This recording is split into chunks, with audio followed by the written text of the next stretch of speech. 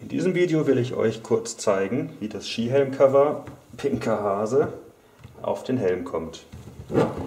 Einfach grob draufziehen, Helm umdrehen, den Verschluss öffnen. Dann gibt es hier zwei Gummibänder auf jeder Seite. Die werden hier drüber gestülpt. Das ist universell für alle Helme verwendbar. Auf der anderen Seite auch ein bisschen ziehen und zergeln. Es ist recht stabil vernäht. Und den Verschluss wieder zu. Dann zergeln wir das hier noch ein bisschen hin. Und vorne auch. Und ratzfatz ist das lustige Skihelmcover angebracht und fertig.